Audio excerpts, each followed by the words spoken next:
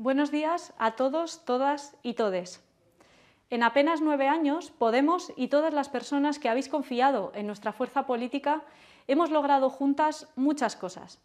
El bipartidismo terminó, fuimos determinantes para echar al Partido Popular más corrupto de la Moncloa y logramos conformar el primer gobierno de coalición desde la Segunda República.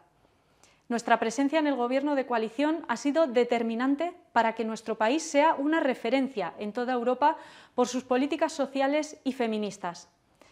Gracias a que ganamos peleando la presencia en el Gobierno de nuestro partido y de las fuerzas políticas con las que confluimos, hemos aumentado el salario mínimo interprofesional un 50%, se ha blindado la actualización al IPC de las pensiones por ley, se ha construido toda una nueva generación de derechos feministas como la nueva ley del aborto, la ley solo sí es sí o la ley trans y de derechos LGTBI.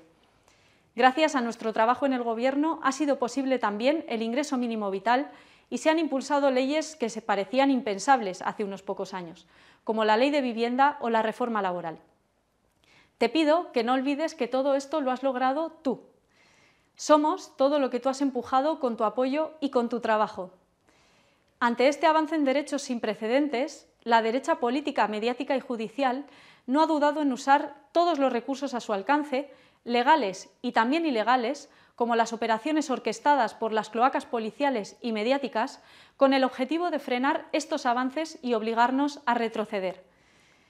Ahora, sumidos en una ola reaccionaria de dimensión internacional, existe una posibilidad difícil, pero real, de revalidar el gobierno de coalición y optar a una segunda legislatura que nos permita profundizar las transformaciones sociales y feministas.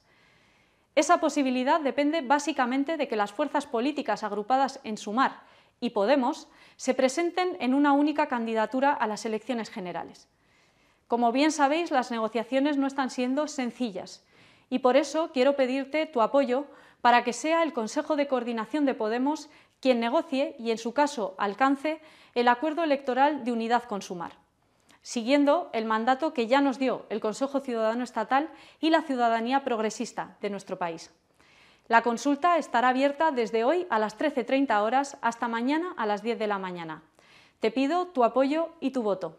Muchas gracias y seguimos.